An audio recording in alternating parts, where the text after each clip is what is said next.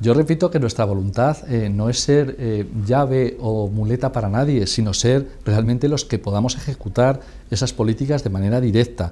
Y lo que seguramente se va a producir en esta ciudad, como en la mayoría de las administraciones eh, a gobernar, es que no va a haber mayorías absolutas. Entonces, en ese tipo de escenario, nosotras y nosotros estamos convencidos de que bueno, pues jamás se podría pensar que vamos a apoyar un gobierno de ciudadanos. De otros, no está tan claro ni Partido Socialista ni Más Madrid, que en determinados momentos las eh, personas responsables de esos espacios políticos han podido manifestar algún tipo de disposición a eso. Creo que nadie tiene duda acerca de que eh, Begoña Villacís jamás será alcaldesa con mi voto. ¿Más Madrid puede apoyar un gobierno de, eso, lo tienen que, eso lo tienen que decir ellos, pero evidentemente eh, está ¿Usted ve ese riesgo?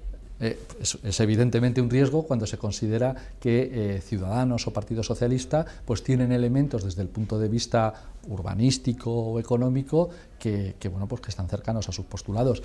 Eh, desgraciadamente hay determinadas votaciones en materia urbanística en el que el área de desarrollo urbano, sostenible las ha aprobado con el voto del Partido Popular y de Ciudadanos y no con el nuestro.